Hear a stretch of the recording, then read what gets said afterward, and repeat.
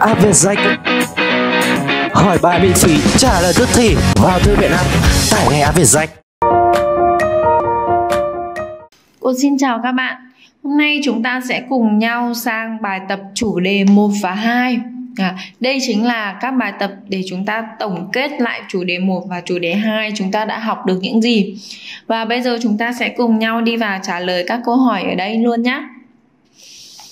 Câu 1 là hãy trả lời các câu hỏi dưới đây. A. Thế nào là khoa học tự nhiên? B. Khoa học tự nhiên có vai trò thế nào trong cuộc sống? Và C.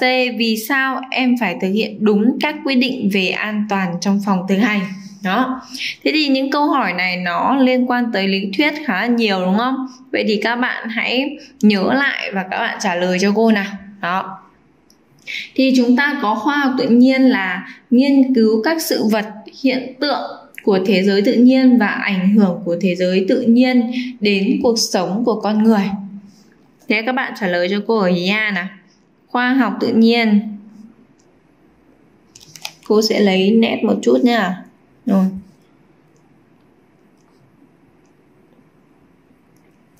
Là nghiên cứu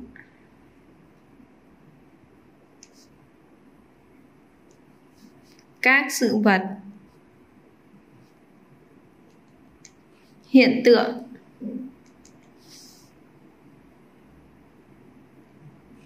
Của thế giới tự nhiên.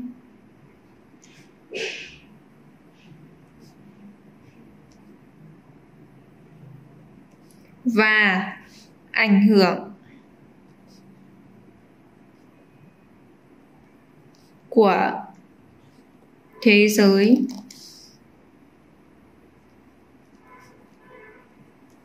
Tự nhiên đến cuộc sống của con người.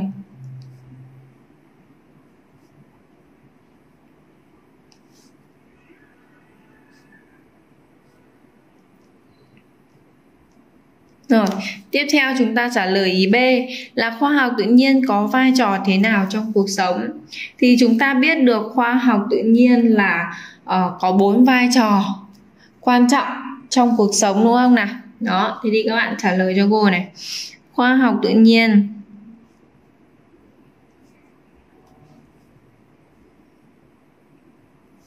có thứ nhất đó là có vai trò đi đó. thứ nhất là cung cấp thông tin.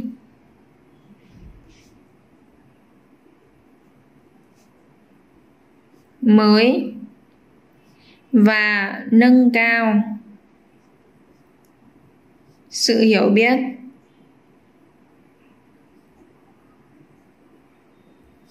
Tiếp theo đó là gì góp phần mở rộng sản xuất.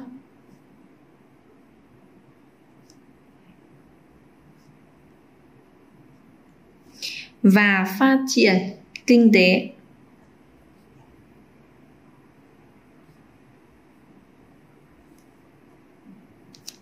Vai trò thứ ba, đó là bảo vệ sức khỏe và cuộc sống của con người.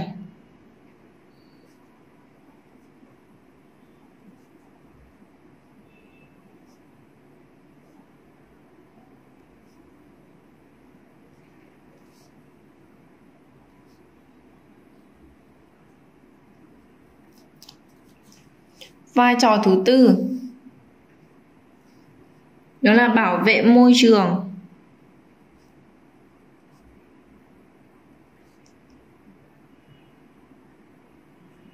Và ứng phó với biến đổi khí hậu.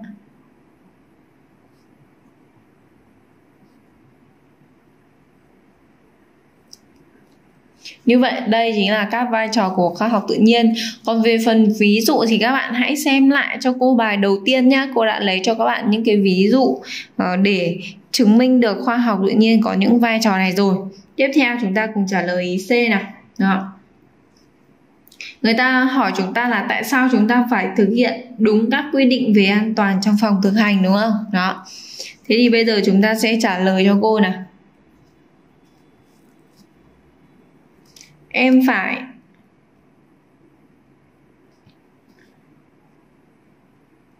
Thực hiện.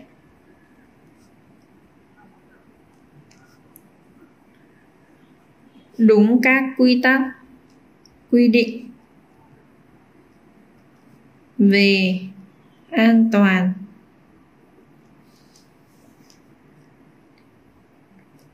Trong phòng thực hành.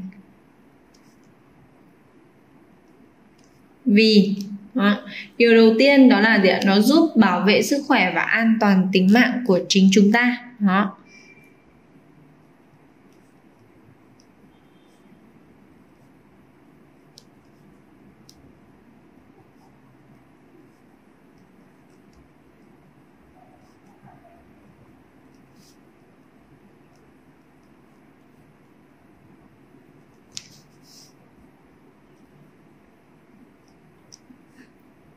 chính chúng ta hoặc là chính người mà tham gia làm các cái thí nghiệm, đúng không nào? Người làm thí nghiệm. Đó. Bởi vì là khi chúng ta làm thí nghiệm thì chúng ta tiếp xúc với rất nhiều những cái chất độc hại này và những cái chất dễ cháy nổ cho nên là khi chúng ta đảm bảo các cái quy định an toàn thì điều đầu tiên đó là nó bảo vệ sức khỏe và an toàn tính mạng của chính người làm thí nghiệm tiếp theo, đó là sẽ là bảo vệ tài sản của lớp học hoặc là của địa phòng thí nghiệm, hay chính là tài sản của diện của nhà trường Đó. Tức là chúng ta bảo vệ tài sản của của công đấy. Tiếp theo đó là gì ạ? Ờ, khi mà chúng ta thực hiện được đúng các cái quy định về an toàn trong phòng thực hành này thì chúng ta sẽ làm thí nghiệm được uh, chính xác này. Và như thế sẽ đạt được yêu cầu mục đích của bài học mà giáo viên dạy đúng không? Đó. Thế thì nó sẽ là gì đạt được yêu cầu mục đích bài học.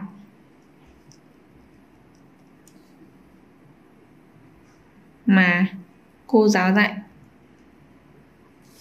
Cô giáo hoặc thầy giáo hay nói chung là giáo viên đúng không ạ?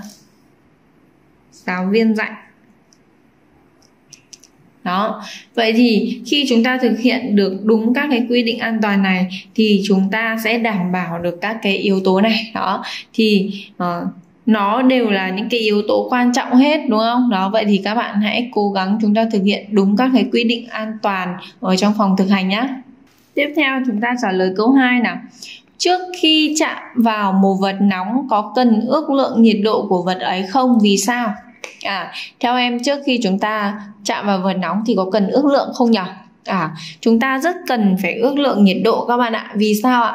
À, để tránh cho cái sự bất ngờ với sự giật mình của chúng ta thì uh, chúng ta sẽ thứ nhất là đỡ thiệt hại về bản thân tức là đỡ bị bỏng này. Và tiếp theo đó thì sẽ đỡ làm vỡ được các đồ vật đấy đúng không nào? Đó.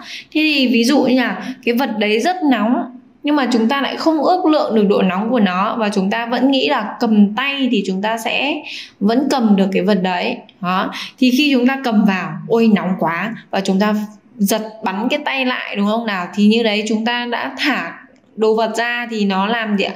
Làm vỡ mất đồ vật rồi và làm bẩn sàn nhà nữa, đúng không ạ? Thiệt hại về công sức, về tiền của, đúng không? Và khi chúng ta ước lượng được cái vật đấy nó rất là nóng rồi thì chúng ta sẽ sử dụng uh, những cái tấm lót để chúng ta cầm được những cái vật đấy. Thì khi đấy sẽ không có cái tai nạn nào xảy ra hết và không tổn thất gì hết được chưa? Như vậy là cái việc mà ước lượng nhiệt độ là cái việc rất là cần thiết đúng không? Đó vậy thì các bạn trả lời cho cô cái câu 2 này. Đó là gì ạ? Trước khi chạm vào một vật nóng.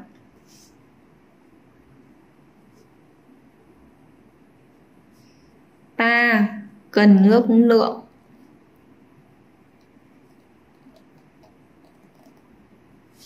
nhiệt độ của vật đấy.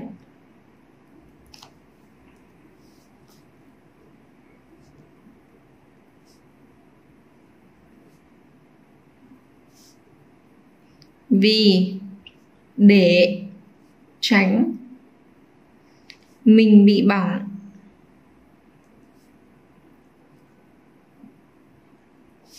Và làm đổ vỡ hỏng cái vật dụng. Ừ.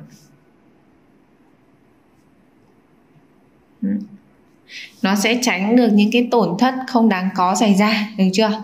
Rồi bây giờ chúng ta sẽ cùng nhau sang bài câu hỏi 3 nào.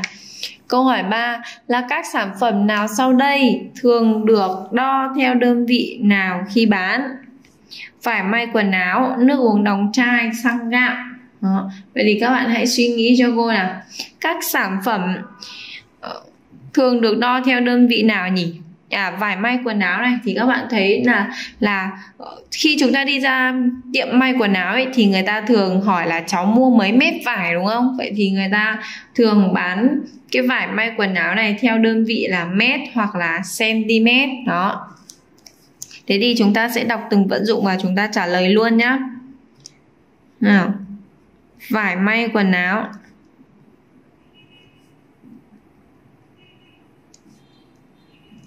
Thường. Đo theo đơn vị mét hoặc cm khi bán tiếp theo là nước uống đóng chai thì sẽ thường đo theo đơn vị gì ạ? À người ta sẽ thường bán theo chai hoặc thường bán theo gì? Thường bán theo thùng đúng không nào? Mình đi ra cửa hàng tạp hóa ấy, thì mình sẽ thường cô ấy bán cho cháu một chai nước 500 ml hoặc là chai nước 1 lít hoặc là bán cho cháu cả thùng. Đó. Thế thì đấy chính là những cái đơn vị mà người ta thường dùng để khi khi bán. Vậy nước uống. Đóng chai.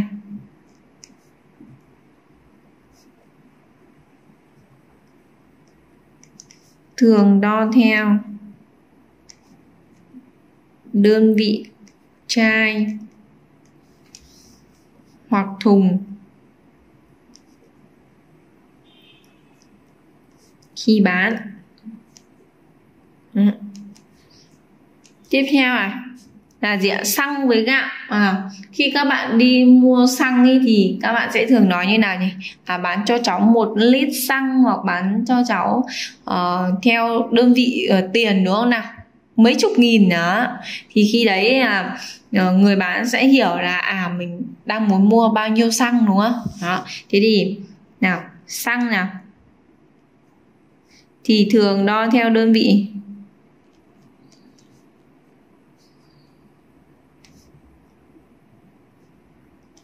Lít khi bán.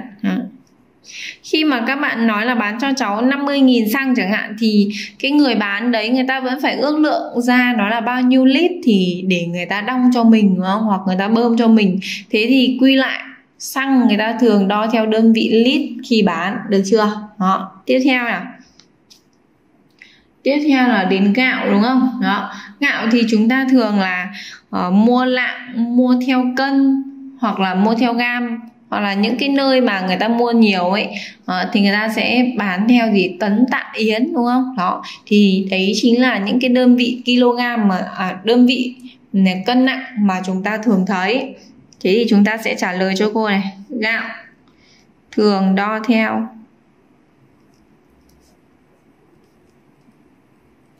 Đơn vị như là gam này lạng này.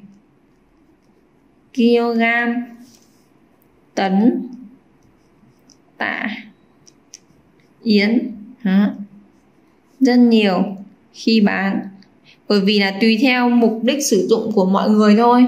Người ăn ít, người ăn nhiều hoặc gia đình này dùng nhiều gạo, gia đình kia dùng ít gạo, thì khi đấy người ta sẽ mua theo cái mục đích sử dụng và thường mua theo những cái đơn vị của cân nặng là gam lạng kg tấn, tạ, yến khi bán, được chưa? Rồi, như vậy là chúng ta đã trả lời xong câu 3 rồi.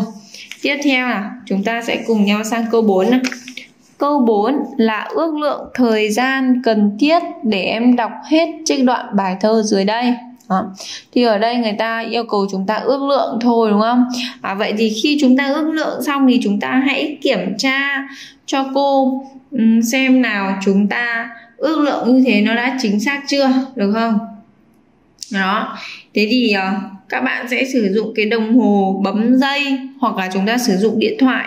Chúng ta sử dụng điện thoại thì chúng ta sẽ vào cái phần uh, uh, phần đồng hồ. Đó, và chúng ta sẽ chọn cho cô cái phần bấm giờ. Đấy, được chưa? Thế bây giờ chúng ta sẽ vào cái phần bấm giờ này. Đó, thì cô sẽ bắt đầu đọc cái trích đoạn thơ này nhá để xem nào cô đọc cái phần này là hết bao nhiêu thời gian được không? Vậy thì chúng ta sẽ bắt đầu này bắt đầu đo nha à đây, chúng ta phải dí vào cái chữ bắt đầu này. Với đôi cánh đẫm nắng trời, bầy ong bay đến trọn đời tìm hoa. Không gian là nẻo đường xa, thời gian vô tận mở ra sắc màu. Tìm nơi thăm thẳm, rừng sâu bập bùng hoa chuối trắng màu hoa ban tìm nơi bờ biển sóng tràn hàng cây chắn bão dịu dàng mùa hoa. Đó sau khi cô đọc xong thì cô đã bấm dừng và đây là gì 25,79 giây các bạn ạ. Đó. Vậy thì à, cô đọc bài thơ này hết 25,79 giây gần 26 giây.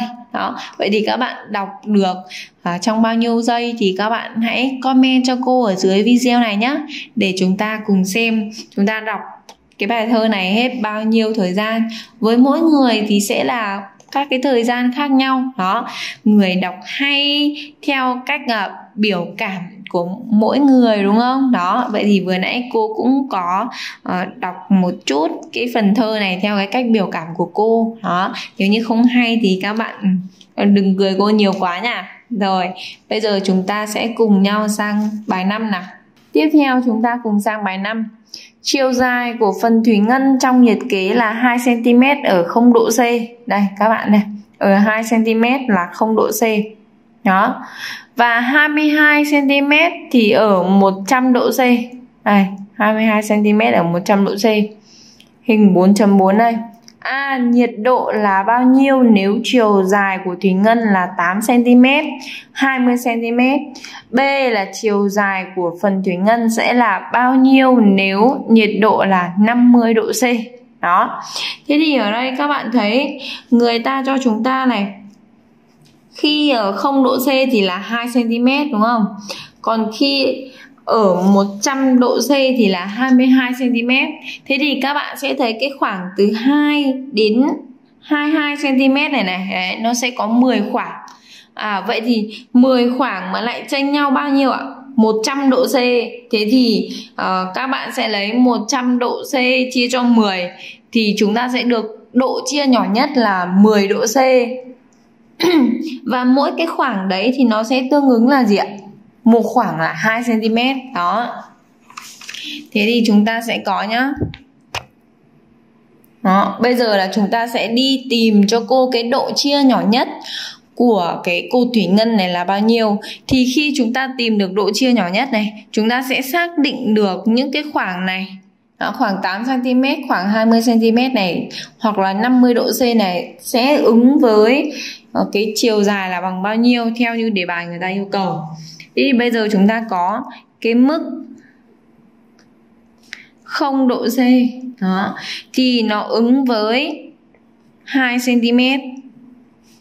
Mức 100 độ C thì ứng với 22 cm. Đó. Và từ đây thì chúng ta sẽ có được là cái khoảng cách từ. Đấy, khoảng cách này. Từ 2 cm đến 22 cm thì ta sẽ chia được ra 10 khoảng bằng nhau. Chia được 10 khoảng bằng nhau và bằng bao nhiêu và bằng 2 cm đó, và bằng 2 cm thì nó sẽ tương ứng với diện một khoảng là 10 độ C. Đó. mà từ nhá từ 0 độ C đến 100 độ C đúng không ạ? Đó. Thì chia chia cho 10 khoảng. Thì chúng ta sẽ được độ chia nhỏ nhất là bằng 10 độ C ứng với một khoảng 2 cm. Đó, được chưa nào các bạn? Đấy. Vậy thì các bạn đã tìm được ra cái độ chia nhỏ nhất rồi chúng ta đã có cái giới hạn đo nữa rồi thì chúng ta sẽ vẽ được cho cô những cái đoạn cm tương ứng với độ c đó đầu tiên này chúng ta sẽ vẽ cho cô một cái cột này và chia thành 10 khoảng được không? Và cái điểm bắt đầu đầu tiên đó chính là cái đoạn 2 cm ứng với gì? 0 độ C, đó. Thế thì chúng ta sẽ có tiếp tục tương tự là 4 cm sẽ là 10 độ C. 6 cm sẽ là 20 độ C. 8 cm là 30 độ C. 10 cm là 40 độ C. 12 cm là 50 độ C 14 cm là 60 độ C. Đó, cứ tương ứng với một đoạn 2 cm thì sẽ là một khoảng 10 độ C, được chưa? 16 cm sẽ là 70 độ C 18 cm là 80 độ C 20 cm là 90 độ C. 22 cm là 100 độ C. Đó các bạn thấy nó ứng với hai cái mốc mà người ta cho chưa ạ? Đó vậy thì chúng ta có hai cái mốc 0 độ C và 100 độ C thì chúng ta sẽ chia được uh, ra 10 khoảng và mỗi khoảng ứng với 10 độ C. Và bây giờ thì chúng ta nhìn vào cái cái cột chia độ này. Đó, chúng ta sẽ trả lời ngay được cho cô ý A này. Nhiệt độ là bao nhiêu? Nếu chiều dài của thủy ngân là 8 cm và 20 cm thì nhìn vào đây các bạn thấy 8 cm ứng với 30 độ C, còn 20 cm thì ứng với 90 độ C. Đó, vậy thì các bạn sẽ trả lời cho cô là dựa vào hình vẽ trên ta có gì ở nha, là 8 cm ứng với 30 độ C. 20 cm thì ứng với 90 độ C và chúng ta sẽ trả lời cho cô ý B. Ý B thì người ta hỏi nhiệt độ 50 độ C thì sẽ ứng với cái độ dài của cột thủy ngân là bao nhiêu đúng không? Đó, vậy 50 độ C này các bạn gióng, các bạn thấy nó chính là 12 cm. Vậy các bạn trả lời cho cô nhiệt độ 50 độ C ứng với chiều dài